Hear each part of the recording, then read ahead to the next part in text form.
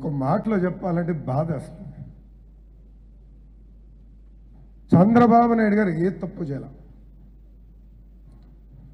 నలభై ఐదు సంవత్సరాలు క్రమశిక్షణతో పట్టుదలతో మన కోసం పనిచేశారు.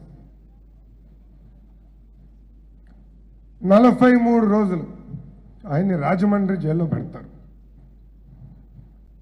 స్కిల్ డెవలప్మెంట్ కేసులో నిందితులందరూ ముప్పై రెండు ముప్పై ఎనిమిది రోజుల్లో బయటకు వచ్చారు. అంటే వ్యవస్థల్ని ఎలా మేనేజ్ చేసి ప్రజా నాయకుడిని ఈరోజు ఇబ్బంది పెడుతున్నారు ప్రజలందరూ ఆలోచించాల్సిన అవసరం చాలా చాలా ఉంది. ఒక మాటలో చెప్పాలంటే బాధ వస్తుంది చంద్రబాబు నాయుడు గారు ఏ తప్పు చేయాలి? నలభై ఐదు సంవత్సరాలు క్రమశిక్షణతో పట్టుదలతో మన కోసం పనిచేశారు.